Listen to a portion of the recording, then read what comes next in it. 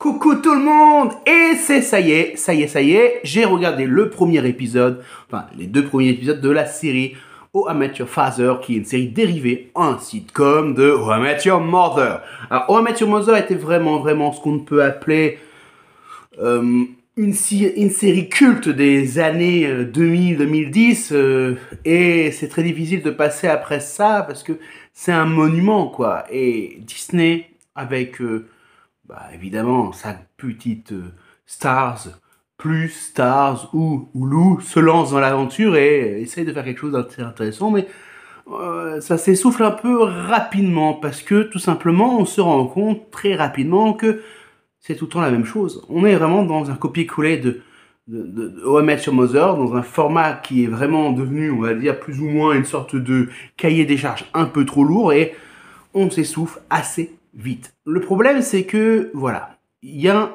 le premier détail qui saute aux yeux, c'est que Amateur Phaser essaye d'utiliser euh, l'espace-temps et les repères technologiques pour euh, justifier qu'on est dans le futur. Une chose que Amateur Mother ne n'utilisait pas. Amateur Mother était tourné vers la nostalgie, vers le passé. Alors que Amateur Phaser, ils directement des outils technologiques, hein, la mère appelle son fils par visio et on ne voit jamais le fils. Alors que dans un match Mother, on voyait les enfants en discussion directe avec le père, mais on ne voyait jamais le père. Et ça, ça pose vraiment une chose différente. C'est que on montre à quoi ressemble le, la mère tout de suite et on casse ce petit côté magique qui est que on, on sait à quoi elle ressemble maintenant dans le temps présent. Et le problème, c'est que c'est une série qui, une série plus ou moins d'anticipation, parce qu'on vous emmène euh, dans le futur pour vous raconter une histoire qui se passe dans notre époque à nous. Et ça, c'est assez compliqué à faire. Mohamed sur Mother arrivait facilement à le faire parce qu'ils allaient chercher des petits éléments de notre société, de notre quotidien, des petites choses qui nous ont tous fait rire, tous préoccupés, pour en faire quelque chose d'anecdotique. Là, pour l'instant, dans les deux premiers épisodes, on n'a pas ça. On utilise souvent des préoccupations surtout féminines et masculines, mais masculines euh, vues d'un regard féminin. Et ça, ça peut poser problème.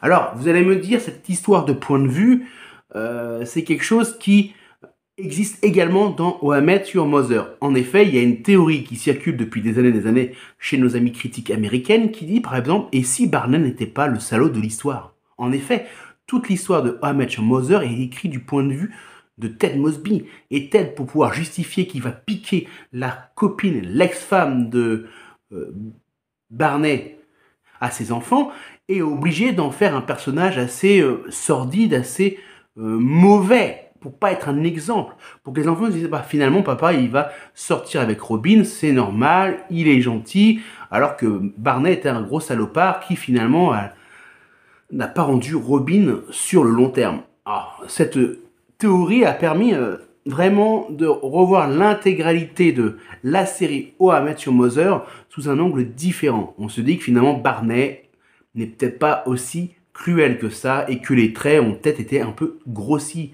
caricaturés par Ted pour justifier sa demande à ses enfants de prendre la tangente et de choisir comme nouvelle compagne Robin. Alors là, euh, cette idée-là d'utiliser ce prétexte-là pour dire pourquoi certains personnages masculins dans Amateur Phaser manquent de consistance, c'est assez compliqué parce que finalement, le propriétaire du bar dans OMS sur Father est élu pratiquement l'acteur le plus intéressant de l'histoire et ce n'est pas négatif, ce n'est pas mauvais. En effet, montrer un homme qui a subi plus ou moins une grosse déception amoureuse, qui a perdu foi en l'amour, c'est plus ou moins quelque chose habituellement qu'on voit du côté des personnages féminins. Et ça, c'est vraiment la chose qui m'a vraiment marqué dans ces deux premiers épisodes. Parce qu'on est vraiment dans une attente. On est dans une attente. Est-ce que les deux personnages vont se rapprocher? Je pense que c'est ça la seule chose intéressante que la série nous propose sur les deux premiers épisodes.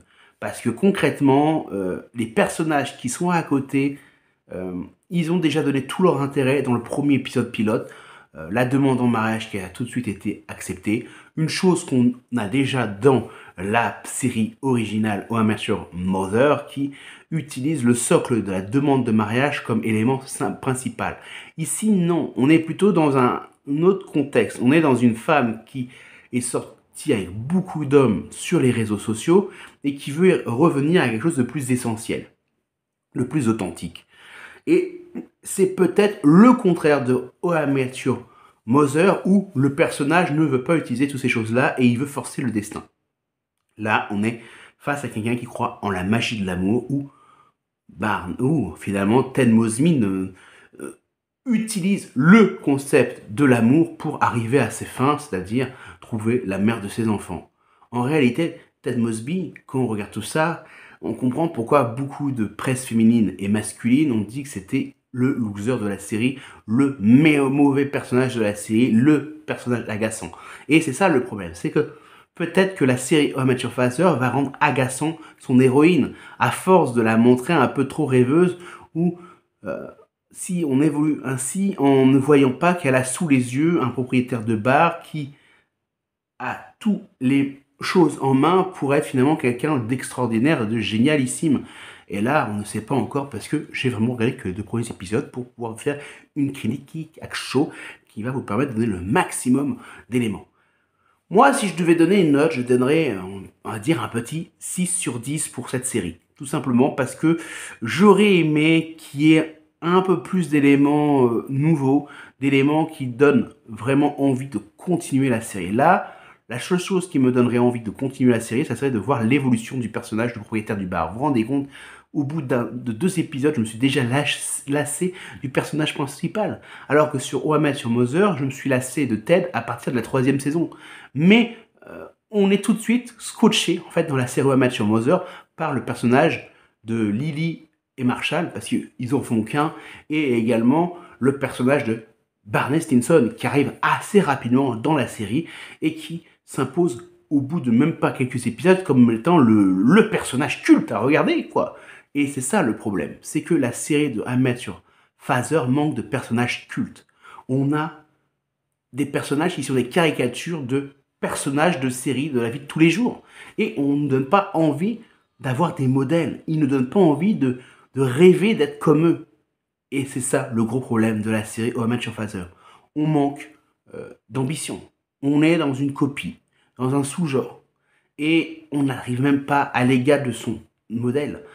Là où des séries ont déjà réussi à faire pareil, c'est euh, la série euh, Buffy contre les vampires. Son spin-off Angel a réussi à s'en démarquer assez rapidement.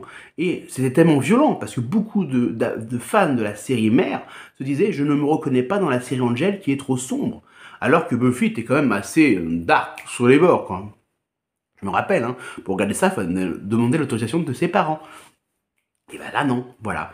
Le problème, c'est que Amateur Phaser s'enlise dans, euh, dans un cahier des charges trop lourd et ne prend pas assez de liberté, et le peu de liberté qu'il prend, bah, euh, ne l'amène à nulle part, parce qu'on se retrouve bloqué face à, on veut faire une série d'un point de vue d'une femme, mais euh, cette femme va être entourée d'un groupe d'hommes, alors on va avoir finalement la vision, on, on, va dire, mono, monoculaire d'une société qui est la nôtre. Ça veut dire à quel point écrire sur notre société est assez complexe et assez difficile, parce que notre société actuelle est bloquée dans des sujets tabous comme MeToo, comme euh, euh, les LGBT et euh, toutes les différentes choses contre les discriminations. Ça veut dire que la bien-aisance, le puritanisme et toutes les choses qui l'entourent font que finalement on ne peut plus écrire quelque chose qui donne envie et qui fait rêver. On est finalement dans un copier-coller de la réalité et la réalité, ça fait pas rêver. On le vit déjà tous les jours, on n'a pas envie de la voir. C'était Julien du blog directactu.fr et du mec qui passe.fr. Prenez soin de vous et dites-moi ce que vous avez pensé de cette série.